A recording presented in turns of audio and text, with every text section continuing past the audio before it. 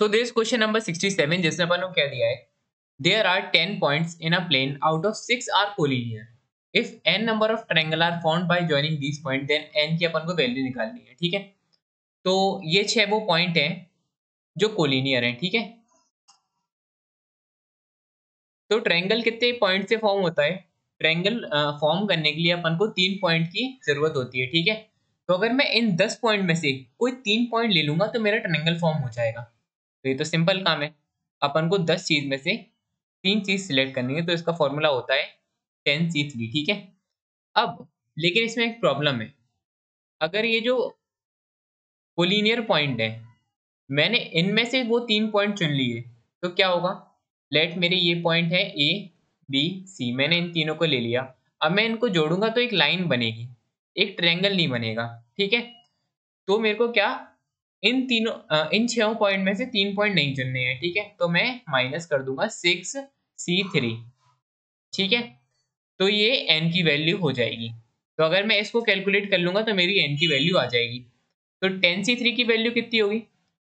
Ten C three की value होगी ten into nine into seven upon three into two तो ये हो जाएगा अपना फाइव और यहाँ पे होगा twenty one twenty one into five which is further equal to two one zero twenty one into five ये हो जाएगा अपना वन ज़ीरो फाइव होगा आई थिंक ठीक है? तो ये हो गया अपना वन ज़ीरो फाइव ओके और सिक्सटी थ्री की वैल्यू कितनी होगी? सिक्सटी थ्री की वैल्यू हो जाएगी six into five into four upon three into two तो ये तो सिंपली आ जाएगी ट्वेंटी ठीक है? तो इसमें अपन वैल्यू पुट करेंगे, ये हो जाएगा one zero five minus twenty is equal to N तो ये कितना हो गया?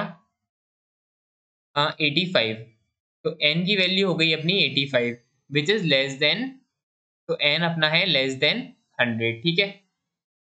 तो अपन ऑप्शन मैच करते हैं। इसमें क्या दिया है? एन इज़ ग्रेटर देन 190 ये नहीं होगा। इसमें क्या दिया है? N is less than and equal to hundred तो ये हो सकता है। अगला ऑप्शन चेक करेंगे। N is greater than hundred ये नहीं हो सकता। एन इज़ ग्रेटर देन 140 ये भी नहीं हो सकता। तो ऑप्शन बी सबसे अप्रोप्रिएट है। तो option B is our required answer